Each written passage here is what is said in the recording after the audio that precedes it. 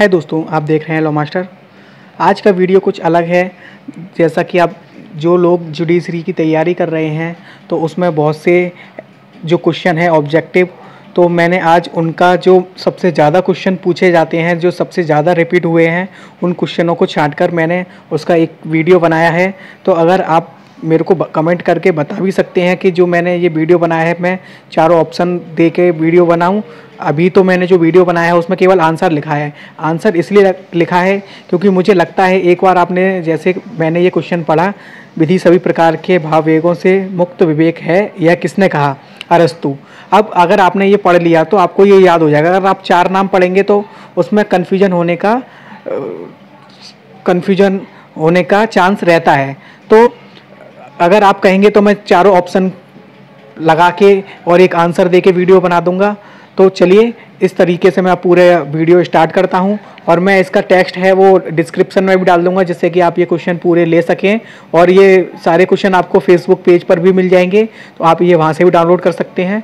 तो आप खुद पढ़ सकते हैं। मैं दिखा, ये आप देखिए, अगला क्वेश्चन है, नैसर्गिक विधि की आधारशिला रखी गई थी अरस्तु द्वारा। विधि में न्यूनतम नैतिकता रहनी चाहिए, यह कथन है डवार्किन का।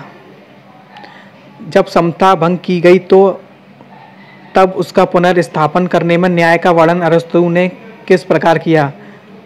सुधारक न्याय। सर्वोत्तम उत्तर बताइए। आस्टीन के अनुसार विधि के निम्नलिखित गुण हैं।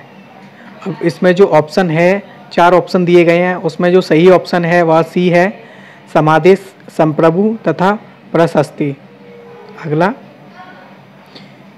जीवंत विधि की अवधारणा को किस विधि शास्त्री ने प्रतिपादित किया था? ए. हर्चलिच अगला। यह बात की प्रकृति के साथ सहमत, सही कारण ही वास्तविक विधि है, किसके द्वारा प्रचारित की गई थी? सिसेरो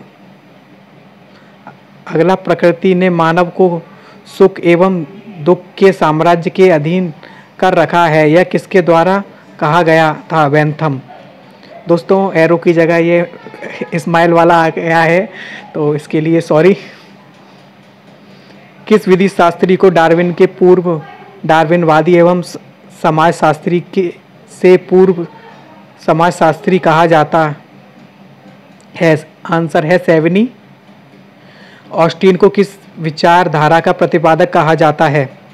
विश्लेषणात्मक विचारधारा। अगला।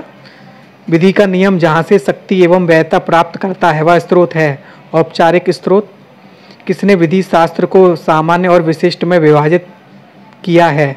ऑस्टीन विधि शास्त्र विधि के मूलभूत सिद्धांतों का वैज्ञानिक संश्लेषण है, कहा गया है। सी के एलन द्वारा। किसे आंगल विधि शास्त्र का जनक कहा जाता है? ऑस्टीन ऑस्टीन के अनुसार अधिरचनावादी विधि का अर्थ है, विधि जैसी है।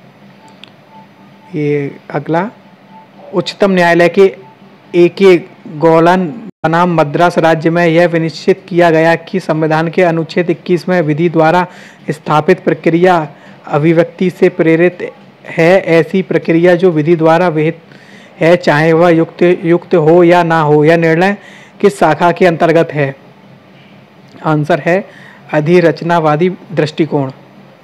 कौन द कॉन्सेप्ट ऑफ़ लॉ का लेखक है हार्ट? विधि शास्त्र का विषय विध्यात्मक विधि है।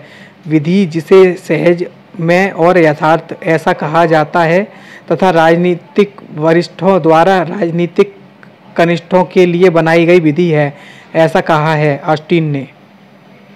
उचित रूप से की जाने वाली विधि एवं अनुचित रूप से कही जाने वाली विधि में अंतर बताया, जॉन ऑस्टिन। विधि समूह, संप्रभु का समादेश है। यह कथन किसका है? ऑस्टीन, सबसे ज़्यादा यह क्वेश्चन आता है ये हर एग्ज़ाम में भी आता है, अधिकतर कॉमन क्वेश्चन है। विधि संप्रभु का समादेश है, जो कर्तव्य अधिरोपित करता है और जिसको शासित बल से बल मिलता है। यह कथन है ऑस्टीन का। ऑस्टीन की संप्रभुता की अवधारणा निम्न में से किस व्यक्ति के विचारों पर, विचारों से प्रभावित है? होप्स के। तो दोस्तों ये आपको वीडियो कैसा लगा मुझे कमेंट करके बताएँ।